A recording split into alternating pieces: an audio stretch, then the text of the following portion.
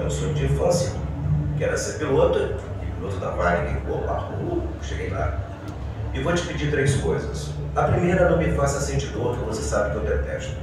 A segunda, me perdoe de alguma coisa que está errado, aqui na terra, que eu fiz errado aqui na terra, mas acredito que não, você me explique, meus pais. E a terceira, põe alguém para me receber, porque assim eu acredito. Porque quando a gente nasce aqui, são nossos pais que nos recebem. Silenciei minha mente e comecei a sentir a pior, o pior sentimento da face da Terra. Que aeroporto é esse chamado morte que eu vou posar daqui a pouco? O que é a morte? Será que vai ter alguém mesmo para me receber? Será que existe essa vida após a morte? Né? Porque a teoria cristã fala que você vai para o paraíso se fizer o céu, se fizer o errado, você vai para o inferno. Sim. Aí você passa para a parte espírita, fala que daqui no canto você se, rege se regenera e volta. Mas ninguém nunca chegou para mim e falou assim, é desse jeito.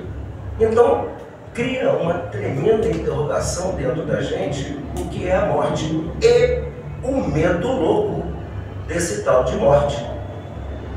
Pois bem, e eu fiquei ali, vivendo isso, vivendo isso, vivendo isso, até que o comandante bate no meu ombro e diz a seguinte frase: Desculpa, velho, o erro foi meu e a gente se encontra do outro lado da vida.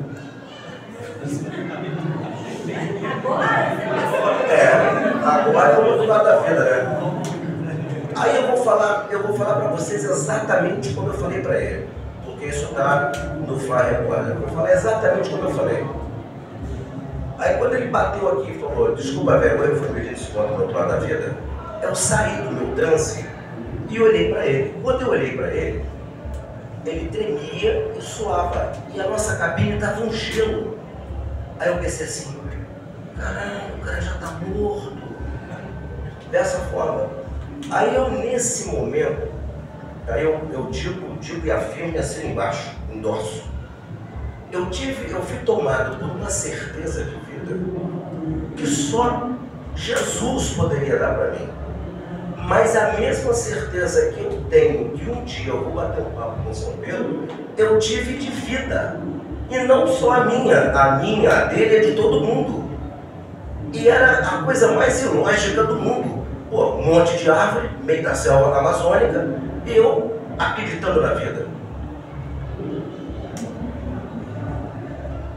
Vamos embora. Acabou o combustível do. Aí ele faz o, o speech dele, aquela coisa toda, e fala assim, que todos nós, um bom final, isso. Aí eu olhei para ele assim, nesse tal desse bom final, né? Ali, um comandante que estava posado em Santarém, o Sávio.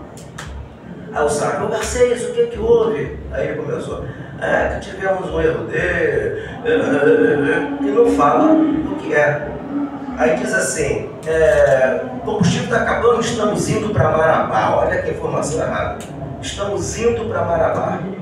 E vamos iniciar nosso pouso, nosso pouso forçado. Se não, der, se não der certo, estaremos orando por vocês. Aí orando por vocês é um cacete. A gente vai se dar bem. A gente vai se dar bem. Vamos, vamos ficar perfeitos. Vamos se dar bem. Vamos se dar